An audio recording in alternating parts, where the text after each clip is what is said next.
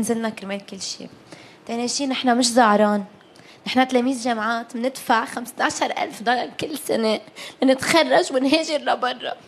نحن مش زعران. هون العالم هلا عم بتكسر ما بيطلعوا 100 شخص. نحن كنا بالألاف اليوم. ما حدا يجرب إنه يغير الصورة. نحن ما نزلنا لنخرب. نحن بدنا نحمي البيئة نحن ما عم نحرق.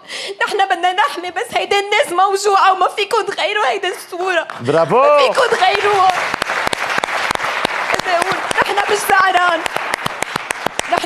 زعران نحن نزلنا كبار وصغار نحن من امبارح على الأرض نحن جينا هلأ ثلاث ساعات.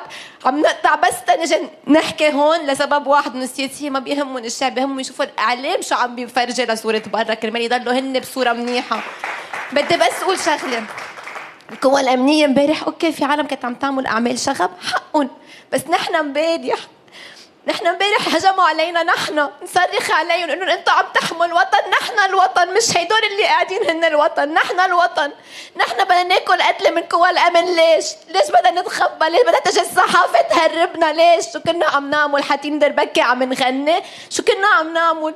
قوى الأمن حقها في عالم عم تعمل أعمال شخب بس مش نحن. نحن منا زعران نحن مش زعران. نحن جايين ندافع عن حالنا لأنه ما بقى شيء ندافع عليه بالبلد ما بقى شيء واليوم في وزير بيطلع بكل وقاحه بكل وقاحه بيقول مظاهرات منا ضده وما خص تياره sorry إذا تي في العهد منه قادر ينزل ليتقبلوه الناس بالشارع في social media كله كلهم يعني كلهم ما في حدا اليوم كان مستثنى بالشارع. ما حدا عن جد ما حدا.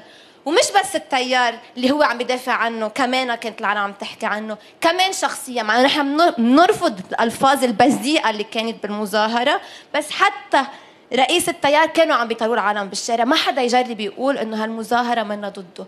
كلهم يعني كلهم. تيار المستقبل حركة أمل حزب الله القوات العونية المردة الاشتراكية.